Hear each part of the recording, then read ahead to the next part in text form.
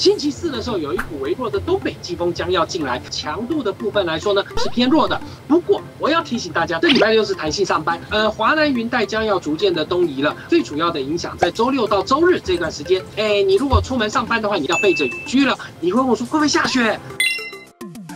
嗨，所有忠实新闻网的朋友，大家好！新年之时，恭祝大家新年快乐，兔年吉祥如意，兔年发财发财。不过讲完了这部分，你看到戴老师的出现，当然就是要来讲气象了。那我们就来讲讲这个礼拜呀，大家开工之时天气状况会怎么样的变化了？哎呀，礼拜一的大太阳感觉起来好舒服。不过你有没有感觉到风吹来有点冷？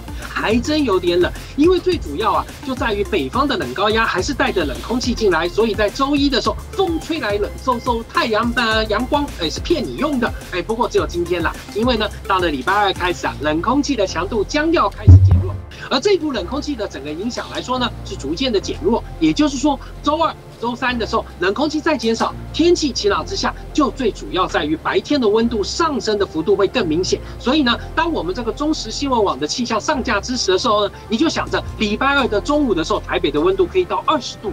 舒服啊，南部的温度二十四度，哇，我更舒服了。那这样的可以持续吗？呃，持续到礼拜三。哎，为什么这么说呢？因为最主要就在于这三天干燥冷空气进来，天气晴朗。不过呢，日夜温差相对的会非常的明显。早出晚归骑车的朋友可要特别注意哦。晚上还是冷飕飕、冷滋滋的天气啊，像在这个云林、嘉义、彰化、台中这几个地方，到了晚上甚至会还是在十一、十二度左右。所以呢，温度状况来说呢，在清晨的温度都是偏于寒冷的。好，那我们再来就要讲到礼拜四喽。星期四的时候，有一股微弱的东北季风将要进来。而这股冷空气的强度的部分来说呢，是偏弱的，因为啊。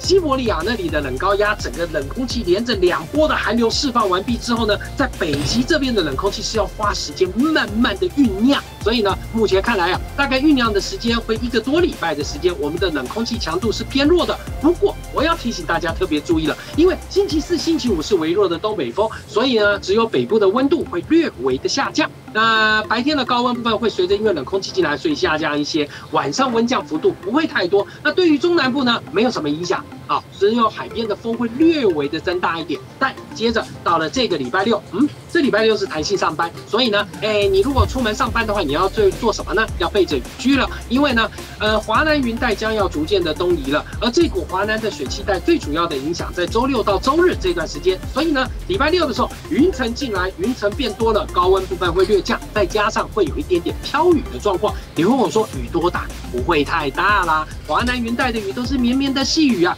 不过，这绵绵细雨到了之后，这个山区的部分到一千多公尺就变成是浓雾的状况喽。那到了三千公尺呢？你会问我说会不会下雪？哦，有一点点机会，因为三千公尺以上的高山，呃，像玉山这两天晚上还在零下四点六度啊，所以呢，到了礼拜六、礼拜天的时候，随着华南云带的东移之下呢，在中部以北三千公尺以上的高山倒是有一点点降雪的机会，因为水汽发展量够多，温度场本来也就够低呢。不过呢，这一波的水汽发展目前看来就是到礼拜天、礼拜一以后呢，就只剩下微弱东北风带进来的北部跟东部飘点雨，那接着到了下周一周二以后开始呢。微弱的东北风影响，只有北部云多有点雨，中南部来说都是属于天气晴朗。整体的温度形态来说，呃，寒流，你问我说还有没有机会？目前看来，我们要进入二月之时，还是有一点点的机会。不过以资料来看的话，大概要到二月中旬之后的话呢，可能性来说会有一点点。接着到了三月以后开始春暖花开，你就会发现到每一波冷完之后，温度上升的幅度相对的就会变得更为明显。好，祝福大家在这金兔年心想事成，